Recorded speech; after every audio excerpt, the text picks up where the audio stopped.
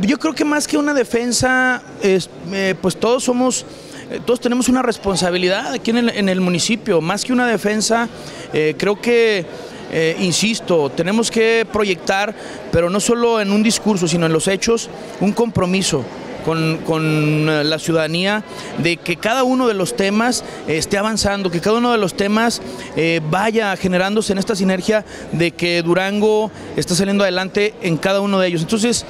creo que ella pues regresa eh, la semana que entra, el lunes, pues ella, si hay alguien que tiene que explicar es ella, o sea, no es que se defienda o no se le defienda, creo que todos somos eh, responsables de, de, de que todo funcione como debe de ser. Eh, se sacó, se estuvo una semana, en este caso de turismo, eh, buena, hubo movimiento, hubo eh, lo que se proyectó en base a la dirección. La presencia de la directora no estuvo, bueno, pues ella tendrá que dar su, su, comentario, su declaración en función de ello. Pero el trabajo sigue y el trabajo no se detiene. Y eso es precisamente a lo que yo me enfoco, que el trabajo en cada una de las direcciones del ayuntamiento debe de ser de manera muy eficiente y muy comprometida por parte no solo de la directora, sino de todos, todos los miembros de cada una de la dirección, de todos los empleados y de todos los que somos parte de este ayuntamiento.